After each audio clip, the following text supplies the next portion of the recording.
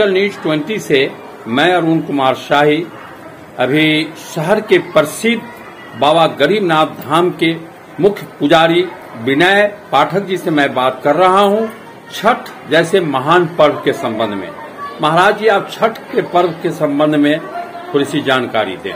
छठ पर्व अब बिहार ही नहीं, पूरे देश ही नहीं, उत्तर भारत की मैं खासकर बात कर रहा हूँ।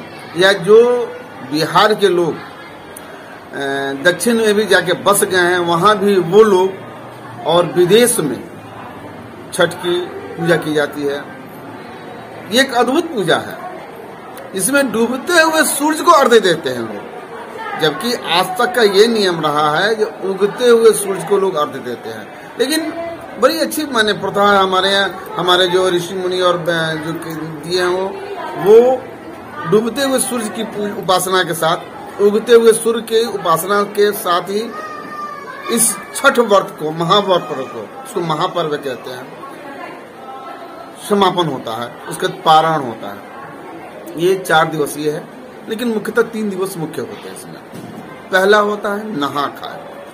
इसके पहले मैं बता दूँ कि छठ व्रती जो है, पहले से ही गेहूँ सुखाते हैं, छत पे धोते हैं, सुखाते हैं, फिर वो वो आटा चक्की, या पहले तो घर में ही लोग पीसते थे, लेकिन वो आटा चक्की जो धुलाता है, और आटा चक्की वाले भी लोग अपने आटा चक्की धोते हैं कहीं छठ का गेहूँ पीसना है।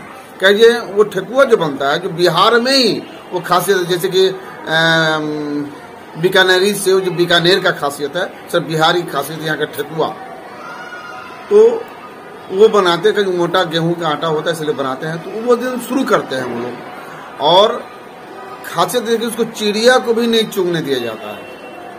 कहे कि जूठा हो जाएगा। अगर किसी बच्चे से लात अगर पैर या कुछ सट जाता है या कुछ हो जाता है तो फिर उसको डांटती हैं, उसको मारती हैं और कहती हैं सूर्य भगवान से आप क्षमा मांगो। तो ये होता है, इतना बड़ा विशाल छठ पूजा, छठ व्रत होता है हम लोग के यहाँ। मैं समझता हूँ जो हमारे बिहारी नहीं, और भारत के भी लोग भी मैंने ये छठ पूजा को सबसे सर्वोपरि, सबसे शुद्ध पर्व माना जाता है। खैर। तो पहले दिन इसी की सर आठ तारीख को नहा खाए है।